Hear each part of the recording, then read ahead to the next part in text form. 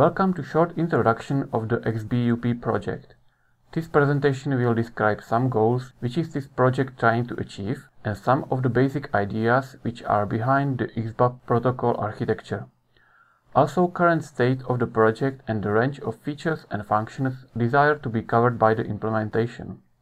Basic goals of this project is to design and develop royalty-free support for General Binary Communication Protocol and file format.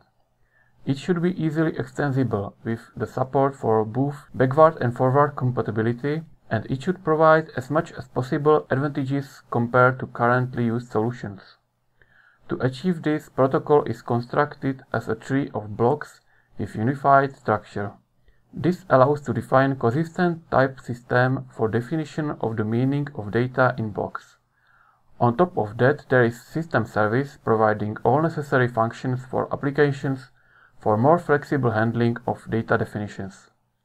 One of the main differences about this project is that despite the currently wide popularity of the text-based markup languages like XML, XBUP project is still targeted to be binary.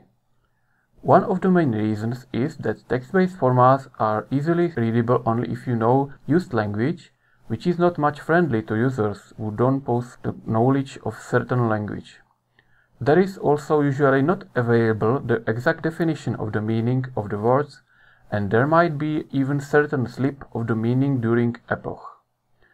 With the binary protocol using the unified structure it should be possible to provide human-friendly interface with similar usability and even to cover wide set of supported languages and to manage difficulties of the language evolution.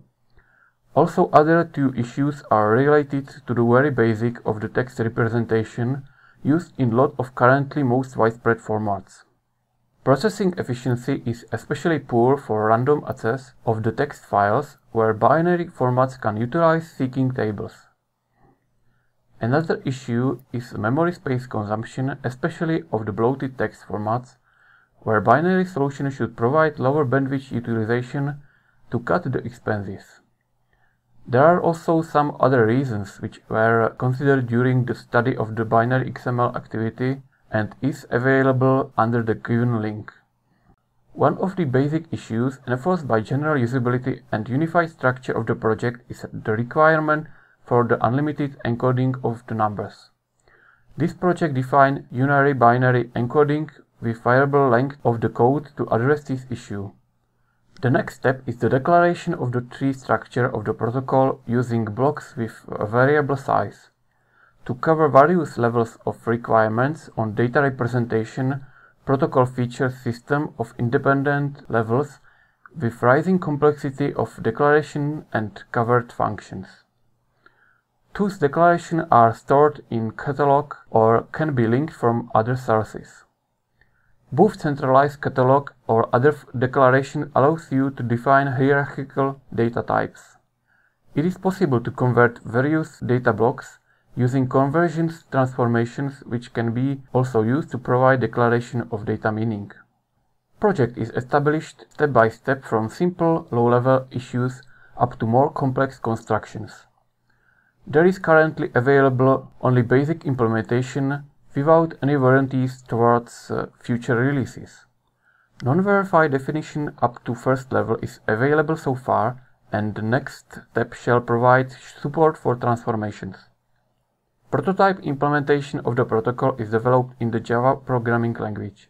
It covers testing classes for various parser approaches, streaming, serialization and basic catalog functions. There are also available various testing applications, namely Basic Editor, allowing usual operation with document tree structure and data content. There is also system service providing local copy of catalog and methods for performing various data transformations. Other sample applications should demonstrate some of the abilities of the protocol. That's it for now. Thank you for watching this and I hope you found anything interesting. If yes, you should visit project's webpage on xbup.sf.net where you can find lot of other documents, files and also some other motivation videos and screencasts. Also, if you feel to like it, we would appreciate any contributions or comments.